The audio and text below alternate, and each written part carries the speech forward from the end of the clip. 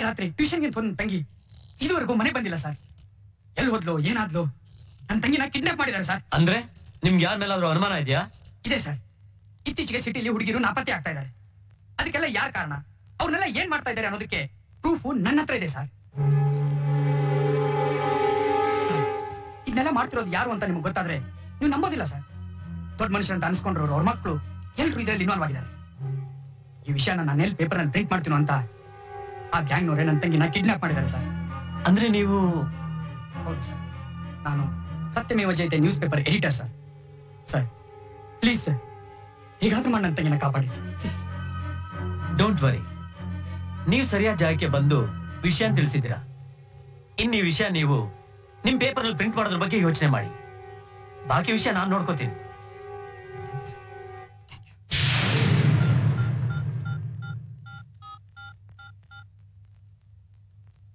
Hello, Bhavani, ನಾನು ರಾಯಪ್ಪ.